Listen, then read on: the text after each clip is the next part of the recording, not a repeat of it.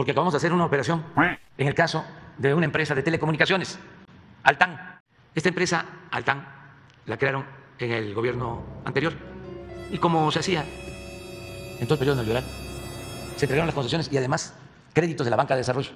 Pues esta empresa eh, recibe la concesión para tener derecho a transmitir señal de Internet en todo el país y empiezan a tener dificultades financieras y tienen eh, compromisos con otras empresas de venderles el servicio de telecomunicaciones. Es una asociación.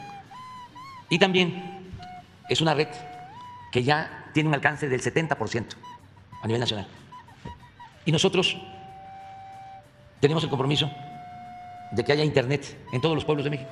Y se nos ha dificultado porque no hay la infraestructura suficiente. No la hay, pero está abandonada, la fibra óptica, hace falta antenas. Si quebraba esta empresa, pues nos afectaba mucho a todo el país, en el propósito de comunicar a México con Internet. Entonces, por eso se decidió que, como tenían estos créditos, si nosotros invertíamos una cantidad adicional, nos convertíamos en socios mayoritarios de la empresa. Y ya tendríamos una empresa de telecomunicaciones.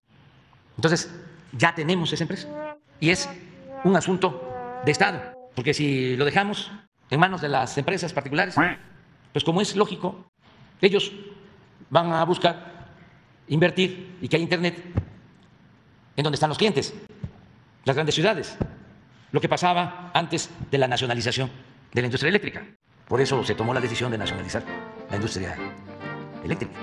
Entonces ahora, pues ya tenemos esta empresa eh, de todos los mexicanos. Desde luego, es una sociedad, pero eh, con participación mayoritaria. El informe lo va a dar la Secretaría de Hacienda esta semana.